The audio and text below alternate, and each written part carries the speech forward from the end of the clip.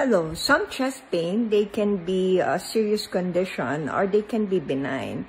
So what would be uh, considered as a, a, serious condition? It can be angina or there's a blockade of your uh, blockade of your coronary arteries. So you would have spasm and that will result as angina. So that's chest pain. So that's very cumbersome. And uh, this can be those uh, atheromas or atherosclerotic uh, plaque. They're very thrombogenic.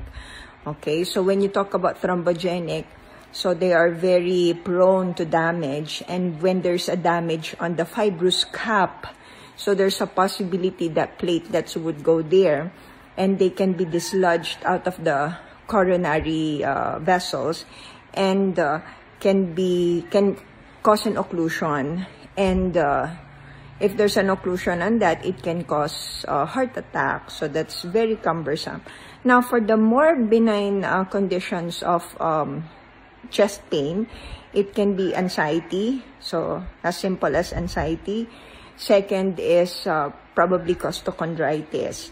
So you have to identify. So if it's just a benign, uh, benign problem, so you can take in ginger. So ginger, wild lettuce, these are some of the pain relievers that you can take in. So if you have a more serious condition, which is a myocardial infarct, MI, or angina, what you can do is uh, you can take in some chili powder, put it in hot water and drink it uh, as needed.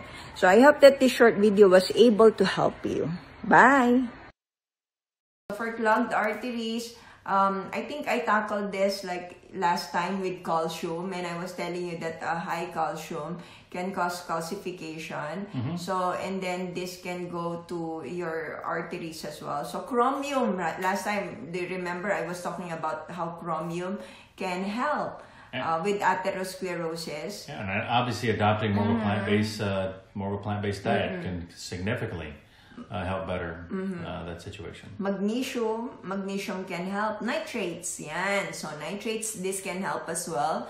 And again, uh, lemon, lemongrass, garlic, ginger. So you have to have an antiplatelet. That's the one that they usually, the doctors would usually give if you have a coronary artery disease. They would give you aspirin, diba? So you have a substitute for your aspirin, which can be a garlic or ginger. Go Ginkgo biloba also. So, it's fun to say. Ginkgo biloba. Next is, ano pong pwede sa angina pain? Ano ba yung angina pain? What's angina pain? Are you familiar? Heartache. Angina. Yeah, heartache. Got heartaches by the number. Yeah, that's the simplest term for it, the angina pain. But it's because of the vessel walls going to the heart muscle.